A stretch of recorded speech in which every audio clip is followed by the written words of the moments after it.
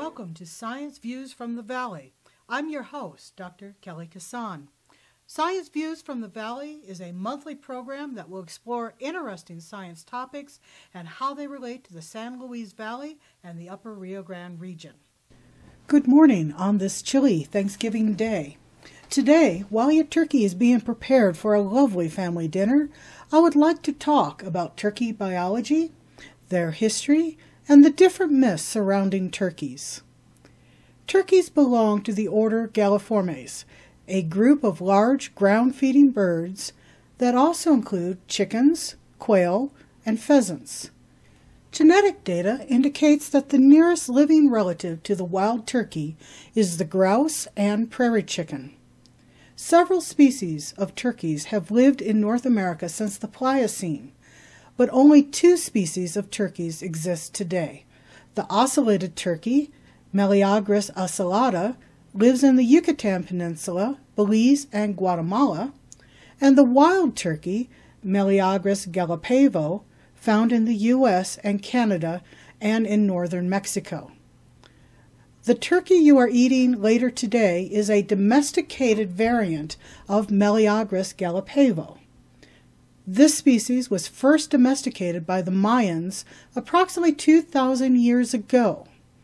Early Spanish explorers in Mexico collected some of the specimens of this turkey and brought them back to Europe, where they became very popular in farmyards. When Europeans began to colonize the U.S. and Canada, they brought these domestic turkeys with them, returning them to their ancestral native land.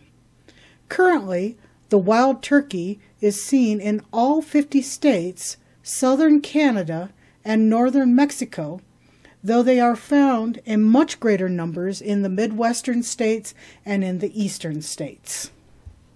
The wild turkey, Meleagris gallopavo, is a large, dark colored bird with extreme sexual dimorphism. Females are much smaller than the males. Female wild turkeys weigh approximately 5.5 pounds to about 12 pounds. Males, however, which are called toms or gobblers, can weigh as much as 24 pounds. This weight range makes the wild turkey the second heaviest North American bird behind the trumpeter swan.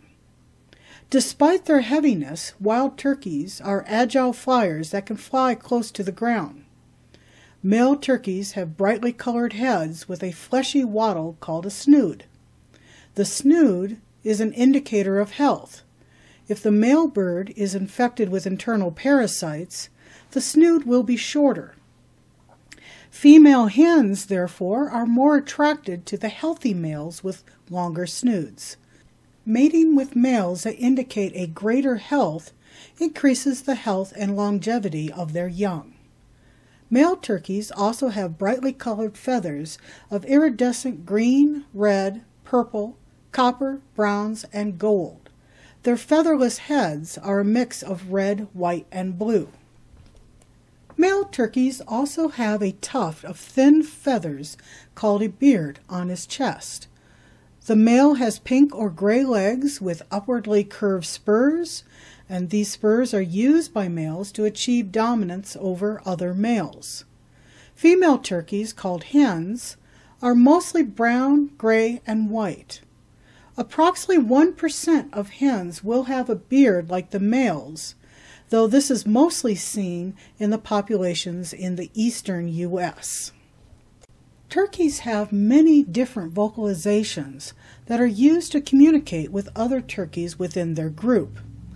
Though the turkey is most represented by the gobble, both males and females are known to produce over 30 different types of vocalizations, including yelps, clucks and purrs, puts, cuts, whines, cackles, and kikis. The yelp is the most common turkey vocalization, which may be used to announce their location to other turkeys in their family group. Another turkey vocalization is the cluck.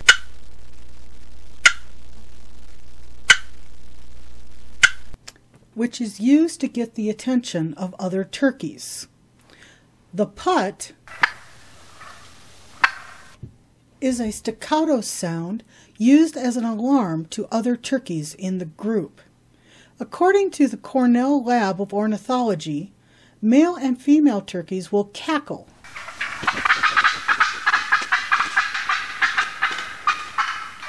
As they fly up and down from their roosts. Turkeys will also produce short purring sounds.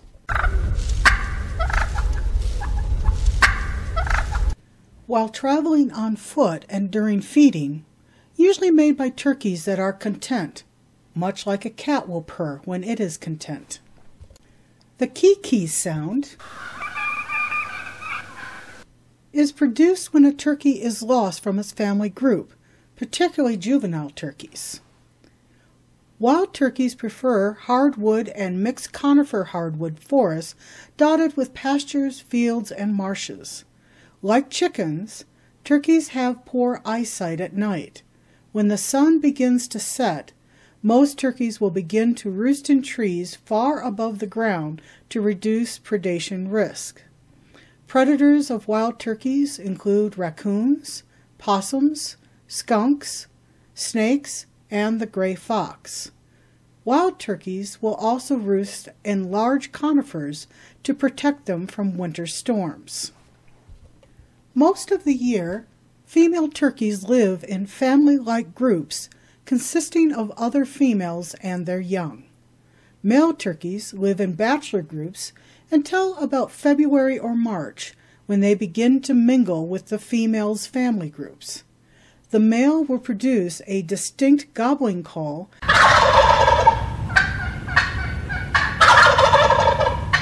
to attract females and to warn off other male turkeys. So among wild turkeys, it appears that females are attracted to the toughest sounding male. After the male attracts a female, he will then display to the female by fanning his tail vertically and strutting while making humming and chump sounds.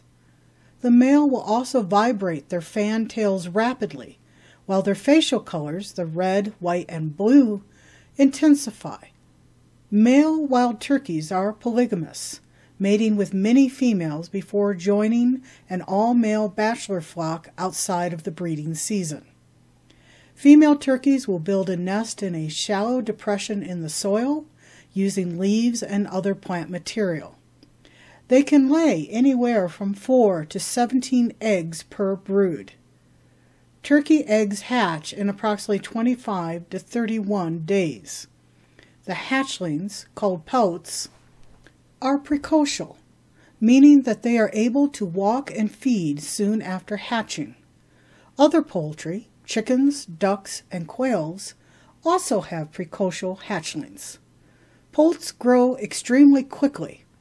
Though they average only 1.6 ounces when they hatch, they will gain over a pound in a month. The females care for their young within a large family group, often containing two or more adult females with their young. Though poults are protected by several females in these family units, only 25% on average will live more than one month due to the high predation on the young. So what do turkeys eat? Turkeys are omnivores, preferring to feed on a variety of plant material like acorns, nuts, seeds, and berries. But in the late spring and summer, when the females are rearing their young, they will complement their vegetarian diet with salamanders, snails, and insects. Like most birds, which lack teeth, turkeys will also swallow gritty material like sand to help them digest their food. Because of their poor night vision, turkeys feed during the day. The lifespan of a wild turkey is quite short, only three years for hens and four years for toms. Hens live a shorter life in large part due to predators, as the hens try to protect their poults. The environment also plays a role in a turkey's life expectancy. If the turkey's environment is low in resources, then a turkey will need to roam a much greater distance to obtain what they need. This exposes the turkeys to a much greater predation risk. In the early 1900s, wild turkey populations had drastically declined due to hunting and deforestation. By the 1930s, turkey populations, which had once ranged in the millions, were reduced to approximately 30,000 individuals in the U.S. and were nearly extinct in Canada. Efforts to hand rear poults and release them into the wild failed in large part because the poults imprinted on their human caretakers. Imprinting involves young animals, particularly birds, to prefer the first object it sees and is regularly exposed to, usually its parent. Imprinting in turkeys occurs within the first hours of hatching and remains permanent. So hand reared wild turkeys would imprint on humans and could not survive in the wild. Individuals from turkey populations that experienced a surplus would be captured and moved to an unoccupied territory. This not only produced new wild turkey populations, but also ensured that the turkey populations had adequate resources to survive and grow. This plan worked very well, and by 1973, the turkey population in the U.S. was estimated to be 1.3 million. Canada, where the turkey populations were extirpated, traded moose for wild turkeys in 1935 and again in 1985. Six subspecies of wild turkey exist in the U.S., but only two are seen in Colorado. One is the Rio Grande turkey, Meleagris gallopavo intermedia. This subspecies is especially adapted to prairie habitats having longer legs than other turkey subspecies, and body feathers that are more green and copper, making it easier for the turkeys to hide in the tall grass. The Rio Grande turkey prefers to live in brushy areas near streams and rivers, or in mesquite, pine, and scrub oak forests. The other subspecies seen in Colorado is Merriam's wild turkey. This turkey is seen mainly in the Rocky Mountains, preferring a habitat that consists of ponderosa pine and high altitude. Merriam's wild turkey differs from the Rio Grande turkey in its coloration, which has more white on their tails and lower back. The male beard of this species is also shorter than that of the Rio Grande turkey. The second surviving species of wild turkey is the ocellated turkey, Meleagris ocellata. This species is much smaller than the wild turkey. Adult hens weigh an average of 8.8 pounds, while the males can reach 11 to 13 pounds. This turkey is found primarily in the Yucatan Peninsula of Mexico and is a major part of the diet of the people in this region. The ocellated turkey has feathers of bronze and iridescent green color. The tails are long and are blue-gray in color with many spots that resemble eyes. Ocellated turkeys are called ocellated due to these blue-bronze spots, which are also called ocelli, on their tails. The heads of the ocellated turkey are blue with orange nodules. Ocellated turkeys also lack the beard seen in the male wild turkeys in the U.S. Like the wild turkey, the ocellated turkey is a ground feeder that will roost in trees to avoid predators, especially the jaguar. The courtship behavior of the ocellated turkey is also quite different from that of the wild turkey, involving feet tapping, moving the tail from side to side, and vibrating their wings as he moves around the female. The gobble sound of the ocellated turkey is also different.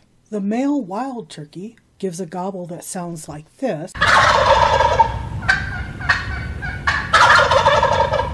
While the gobble of the ocellated turkey sounds like this. The ocellated turkey is more omnivorous than the wild turkey.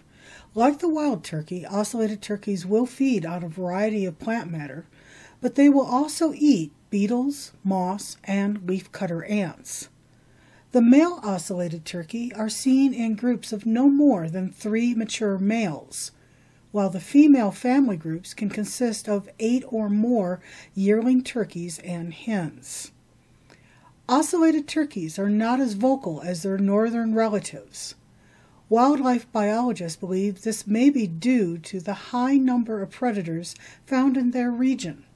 Along with the jaguar, gray fox, margay cats, ocelots, raccoons, coatis, cougars, snakes, and birds of prey are all known to prey on the ocellated turkey. Due to this high predation rate, the survival rate of the female ocellated turkey is 25 to 40 percent while juvenile ocellated turkeys is 15% or less.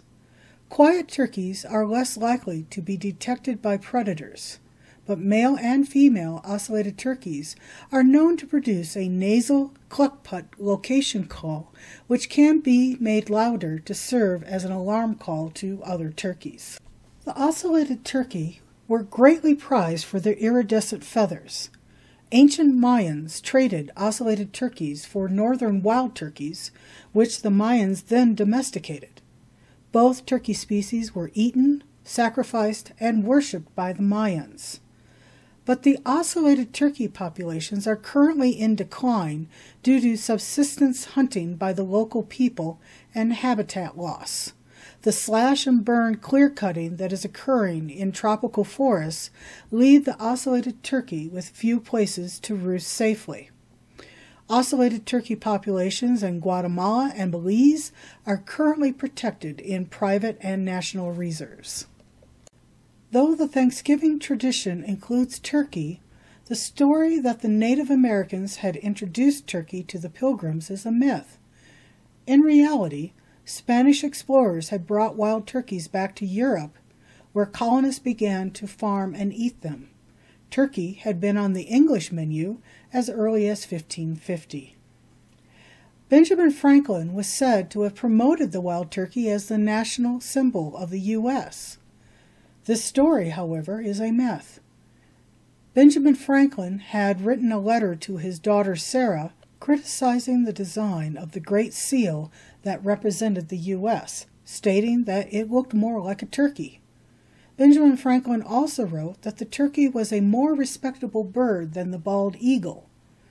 He stated in his letter that the turkey was a bird of courage that would not hesitate to fight invaders to its territory. The bald eagle, Franklin wrote, was a bird of bad moral character that steals fish from the fishing hawk because it was too lazy to fish for itself. Though Franklin was asked for his ideas on how to design the Great Seal, his suggestions were more biblical, suggesting instead that an image of Moses standing on the shore, extending his hand over the seas, along with the motto, Rebellion to tyrants is obedience to God. The wild turkey, however, is a prominent symbol among Native American tribes in North America. Some tribal leaders, like the Catawba, would wear headdresses made from turkey feathers. High ranking individuals among the Muskogee Creek and the Wampanoag tribes wore turkey feather cloaks. The turkey dance is an important dance among the Caddo tribe in the southeastern U.S., primarily in eastern Texas and Louisiana. Traditionally, the women dance while the men drum and sing songs describing their history. The turkey dances are ancient and were performed long before the Spanish missionaries arrived in the 18th century. The origin of the turkey dance is unclear, but one story states that a Caddo man, while hunting in the forest, heard singing. The man went over to investigate and found several turkey hens dancing around a tom turkey. The hunter memorized the steps and shared it with his tribe. The dance has several rules. One is that the dance must be completed by sundown. Male drummers set the rhythm of the first song as the women dancers approach the dance area. The women will then dance in a circle, kicking the dirt as a turkey would.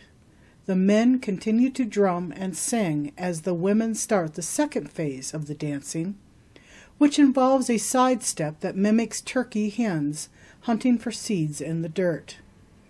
In the third phase of the dance, the women swarm the male drummers in the middle of the dance floor, mimicking the turkey hens that surround a male turkey that is strutting and vocalizing. Then the men and the women pair off for the victory phase of the dance as the sun sets. The Caddo turkey dance is still performed today. The Aztec god of disease and plague, Chalchiuhtotolin, could shapeshift into a turkey. This god was a patron of the jaguar warriors of the night and would cleanse the warriors of contamination and absolve them of their guilt. Chalchiuhtotolin was also a trickster who played the flute to lead people astray. If someone was lucky enough to see and take hold of him, that person would be granted a wish. The ancient Mayans also worshipped the turkey. They believed that the turkey possessed exceptional powers and could be harmful to humans from dream space. Live turkeys were sacrificed to promote a fertile new year, as they were viewed as stand ins and messengers of the Mayan gods. So now that you have learned a little bit about turkey biology, history, and mythology, let's move on to astronomical events. There will be a total solar eclipse on December 4th. Unfortunately, we will not be able to see it here in Colorado. In fact, other than scientists living in Antarctica and people living on islands in the southern Atlantic, no one will be seeing this total eclipse. The next solar eclipse that can be viewed in Alamosa, Colorado, will be a partial solar eclipse on October 14th, 2023. If you drive to Durango on that day, you may be able to see the ring of fire that is characteristic of an annular eclipse, since the Four Corners region of Colorado is within the path of the annular solar eclipse. So, what is the difference between a total, annular, and partial solar eclipse? A solar eclipse occurs because the moon comes in between the sun and the earth, casting the moon's shadow on the earth. The moon's orbit is tilted slightly to the earth's orbit around the sun, which is why we do not have solar eclipses every month. When the moon is at a distance that makes it smaller than the apparent size of the sun, but is exactly in line with the earth and the sun, then we observe an annular eclipse with its characteristic ring of fire. When the moon is not exactly in line with the Earth and the Sun's orbit, then we observe a partial eclipse. Think of it this way when you are out in bright sunlight, you place your hand between the sun and you. This blocks enough of the direct rays to allow you to see in the direction of the sun more easily. If your hand was smaller than the apparent size of the sun in the sky, you would see your hand with a ring of sunlight around it. This would be like an annular eclipse. If you move your hand so it only blocked part of the sun, then some of the sunlight would still reach you.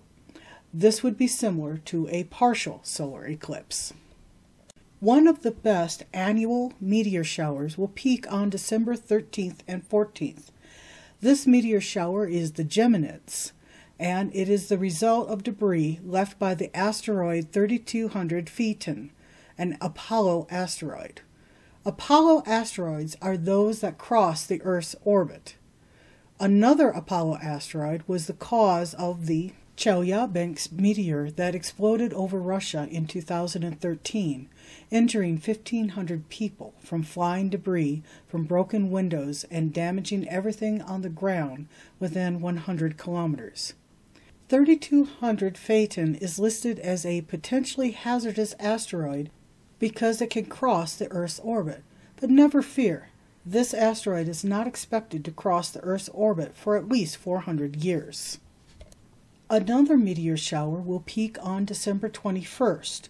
These are the Ursid meteor showers, but this shower is a minor shower. It is hard to see as it consists mainly of dust particles left by the comet 8P Tuttle, a short period comet that comes near the Sun every 13.6 years. This comet last passed the Earth just a short while ago, on August 27, 2021. I would like to thank everyone for listening to my discussion on turkeys. I hope you found this topic informative. If you have a question or a topic you would like to hear discussed on this show, send me an email at spiderwomankrza at gmail.com. If you would like to hear my past shows, they are archived on YouTube at Science Views from the Valley, Alamosa, CO. Next month's show will be on December 23rd, when I will discuss the American chestnut and the tragedy that occurred to this magnificent tree. I would like to thank everyone here at KRZA for their help in developing this show. Have a happy Thanksgiving.